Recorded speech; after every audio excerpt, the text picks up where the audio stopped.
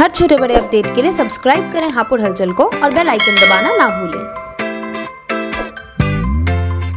बुलंदशहर में भाजपा युवा मोर्चा के जिला अध्यक्ष की गिरफ्तारी की मांग को लेकर ग्रामीणों ने लगाया सिकंदराबाद के ककोड़ रोड पर जाम। नमस्कार, मेरा नाम है ललित और आप देख रहे हैं हापुड़ हलचल। आपको बता दें कि कल नाली की सफ़ाई को लेकर हुआ था झगड़ा। भाजयुमो जिलाध्यक्ष ने अपने साथियों के साथ मिलकर की थी मारपीट और फायरिंग।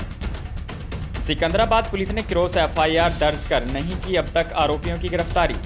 एफआईआर में भाजपा युवा मोर्चा का जिला अध्यक्ष दीपक दुल्हेरा नामजद गुस्साए ग्रामीणों ने सड़क पर बुग्गी खड़ी कर लगाया सिकंदराबाद के ककोड़ रोड पर जाम। मौके पर पहुँची पुलिस ने गिरफ्तारी का आश्वासन देकर जाम खुलवाया है। आपको बता दें कि बुलंदशहर की सिकंदराबाद कोतवाली क्षेत्र के गाँव दुल्हेरा का है मामला।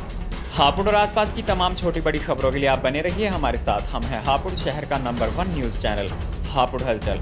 नमस्कार। हर छोटे बड़े अपडेट के लिए सब्सक्राइब करें हापुड़ हलचल को और बेल आइकन दबाना ना भूलें।